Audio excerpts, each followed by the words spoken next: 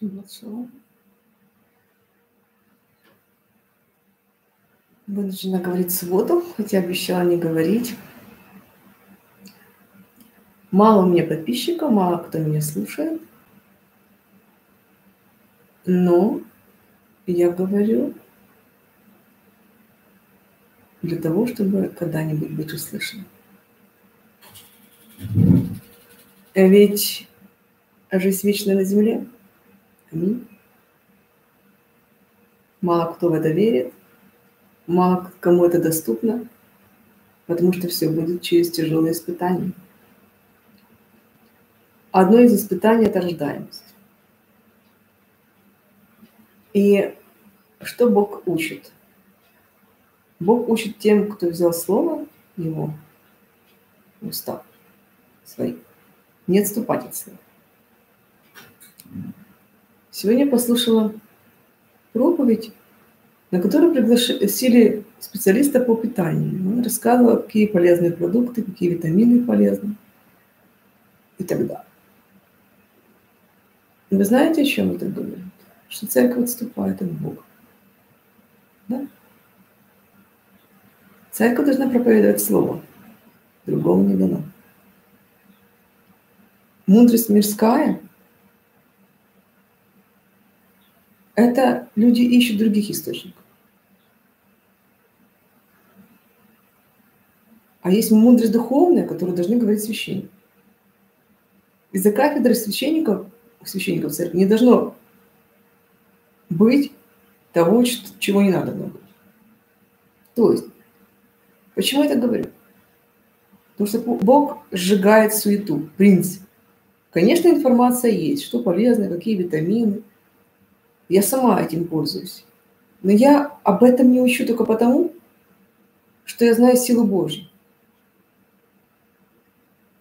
Потому что Бог не хочет, чтобы за какие-то продукты люди дрались. Чем я руководствуюсь? Я руководствуюсь Писанием. 1 Тимофея, 4 глава. Дух же ясно говорит, что в последние времена отступят некоторые от веры, внимая духом обольстителям и учением бесовским, через лицемерие лжесловесников, сожженной совести своей, запрещающих вступать в брак и употреблять в пищу то, что Бог сотворил, дабы верные и познавшие истину вкушали с благодарением. Ибо всякое творение Божье хорошо, и ничто не предусудительно, если принимается с благодарением, потому что освящается Словом Божьим и молитвой. Да и аминь. Это миссия церкви. Говорить о Слове Божьем и молитве. Тимофею пишет Павел.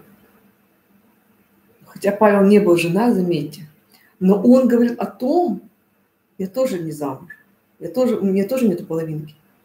Но Павел учит, я запрещаю, я запрещаю учить, что люди должны быть монахами, там, допустим. Священники должны быть монахами. Я запрещаю так учить. Я считаю, что это заблуждение. Люди не выучили слово. Или, э, может быть, я не права, а в том смысле, что сейчас нужно уже прекращать это. То есть надо уже искать э, Бога в том, что должно было быть от начала. Вчера я послушала Алилит. Это в Исаии 34 глава. Там говорится, э, якобы это первая жена Адама. Потом посмотрела мультфильм армянский 73 -го года выпуска. Тоже Алилит, как будто это огненная женщина, э, первая жена Адама. Я, конечно, э, не читала об этом, ну, это оказывается в многих мифологиях есть это. Вот. Э, якобы некоторые говорят, что она стала змеем, это та сатана, которая соблазнила Еву, и она ела плод. В общем, первая жена Адама, ну я не знаю, в Библии я такого не видела. Первая жена Адама ела плод. Ну вот я нашла 34 главу Исаия, где якобы звучит это Лилит. Я слышала о Лилит, но в этом переводе в современном, в этом переводе нет такого понятия Лилит. И зарастут дворы, кстати, так это ибо день мщения у Господа, год возмездия за Сион. И превратятся реки его в смолу, и прах его в серу, и будет земля его горящей смолой. Не будут гаснуть ни днем, ни ночью, вечно будет восходить дым будет от рода в род, оставаться опустелая. Во веки веков никто не пройдет по ней. И завладеет ей пеликан и еж, и филин и ворон поселится в ней, и протянут по ней верь разорения и отвес уничтожения. Никого не останется там из знатных ее, кого можно было бы призвать на царство, и все князья ее будет ничто. О чем говорит? Это, это тоже о последнем времени говорит. И зарастут дворцы ее колючими растениями, кстати. Понимаете? Крапивой рапейниками. Богатых очень большие испытания. Потому что дворцы их, которые они построили, они зарастут крапивой, потому они нафиг никому не нужны, извините за грубость, понимаете? Твердыни ее. И будут она жилищем шакала, пристанищем страусов. И звери пустыни будут встречаться с дикими кошками, и лешие будет перекликаться один с другим, там будет отдыхать ночное привидение и находить себе покой. В этих, в этих дворцах, которые будут запустение, будет отдыхать ночное привидение. Это лилит. В других источниках это якобы лилит, ночное привидение. Ночные привидения, ночные привидения. Да, вот в українському переводі ліліт тільки там заспокоїться і знайде собі відпочинок слышала евреи по этому поводу, он вообще говорит, что у них не принято слово «лилит» вообще говорить у евреев. Это считается как ругательство какое-то, как дьявол, понимаете? Такой дух, такое учение. Вот, да, я э, забыла, как называется эта книжка, э, которая у евреев, там три слова, которая у евреев говорит об, об лилит. То есть лилит для евреев это вообще хула. Получается. Так вот, почему вот это ночное привидение будет отдыхать в этих запущенных домах, которые Бог судит грех, Бог судит что? Он судит воровство, он судит тех людей, которые беды ограбили, не платили им в свое время зарплату, настроили себе дому огромную, которые они не смогут содержать, в конце концов, так получится. И что дома их будет запустение. Понимаете, что сейчас идет на землю? Какая трагедия идет на землю? Там угнездится летучий змей, будет класть яйца и выводить детей и собирать их под тень свою. Там и коршуны будут собирать один, собираться один к другому. Отыщите в книге Господней и прочитайте. Ни одно из сих не примет прийти, и одно за другим не, замен, не заменится.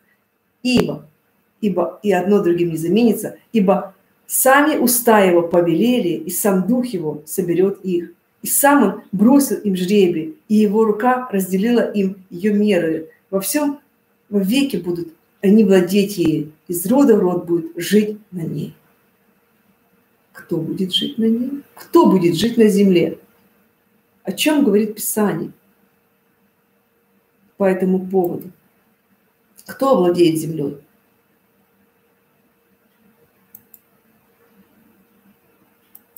Кроткие наследуют землю это незыблемо.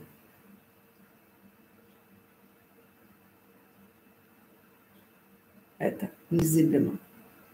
Не спасется царь множеством воинства, Исполина не защитит великая сила, не надежен конь для спасения, не избавит великой силы своей. Вот око Господне над боящимся Его и уповающим на милость Его, что Он душу их спасет от смерти и во время голода пропитает их. Вот обетование Божье. Понимаете? А когда люди начинают думать, что им есть, понимаете, где, что они будут взвешивать на весах эти продукты, понимаешь?